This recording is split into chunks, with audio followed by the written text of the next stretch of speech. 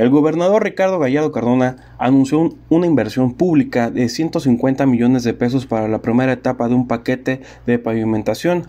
de calles aquí en diferentes colonias de Ciudad Valles. Dijo que se busca acabar el rezago en arreglo de calles con la meta de obtener todas las colonias de este municipio pavimentadas con un lapso de tres años y añadió que en estos proyectos son de ayuda para los ayuntamientos y en este caso complementario a las obras de modernización para otras vialidades grandes e importantes como el Boulevard. El mandatario inició el programa con el apoyo de 150 millones